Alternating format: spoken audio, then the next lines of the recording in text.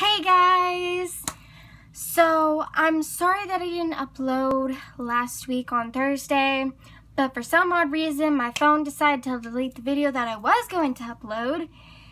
So, I'm uploading this DIY for you guys. Today, we are going to make colorful, fabulous bobby pins. So, they should be good. So, what you're going to need is you're going to need paper, this, just plain old paper. And then you're going to need bobby pins. Let's see, mine are um, gold, but you can like buy them plain. Um, then you need nail polish. I've got tons.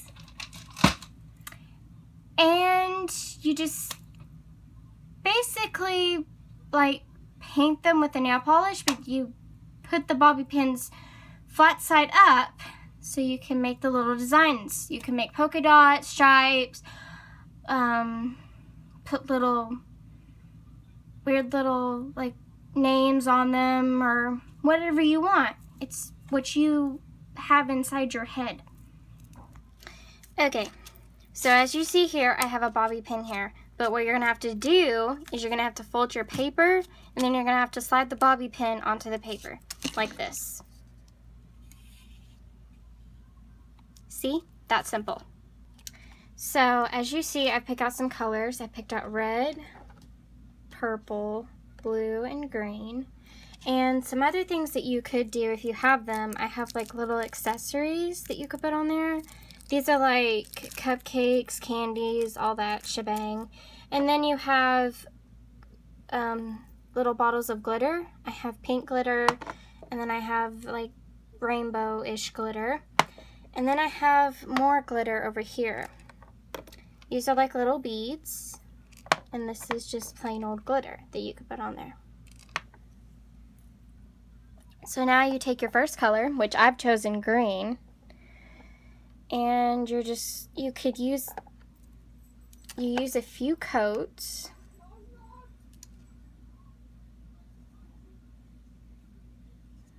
And basically you just paint the bobby pin.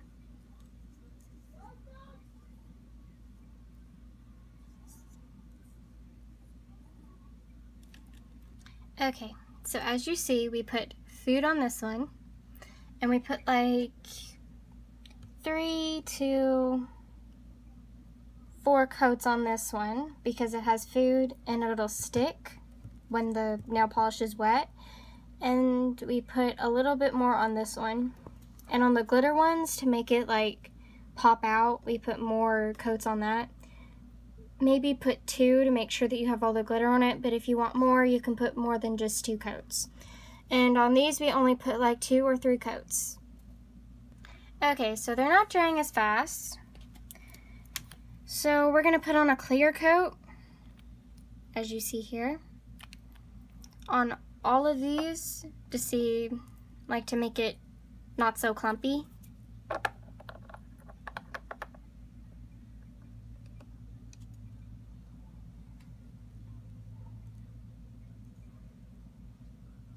They are now dry. And so you just put them in your hair and you go. So as you see, this is the final product.